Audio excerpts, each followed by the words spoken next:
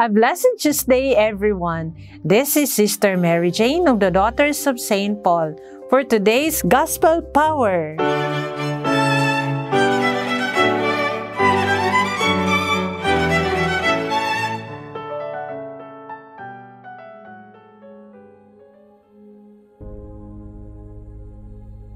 They went to Capernaum, and when the Sabbath came, Jesus entered the synagogue and taught.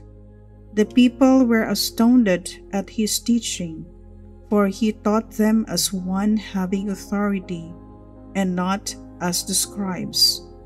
Just then there was in their synagogue a man with an unclean spirit, and he cried out, What have you to do with us, Jesus of Nazareth?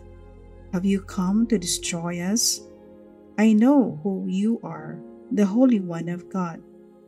But Jesus rebuked him, saying, Be silent and come out of him.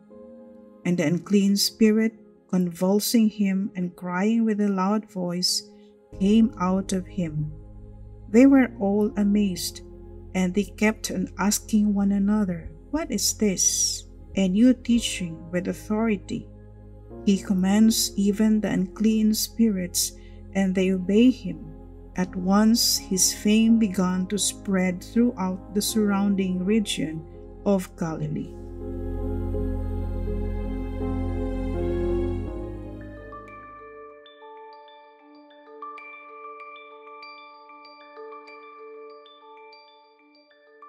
Brothers and sisters, in this gospel passage, unclean implies something opposed to the holy.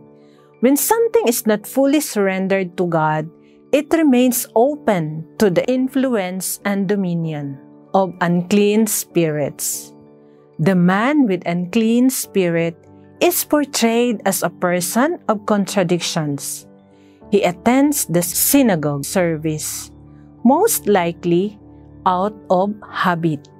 He listens to the teaching of Jesus, but then immediately tells him to back off and not to meddle with his life.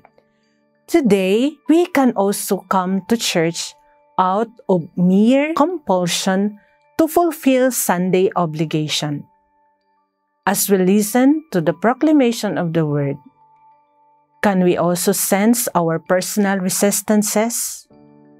Our defensiveness over certain matters that we want to be left untouched? God must be revealing to us those unclean areas that render us susceptible to the influence of unclean spirits. Jesus offers to purge them for us so that we can experience the freedom and coherence of life of the children of God. Will we allow Him? Let us pray. Lord Jesus, your word is a lamp that enlightens the dark corners of our life that need your purification. Conquer our resistance with your grace. Amen.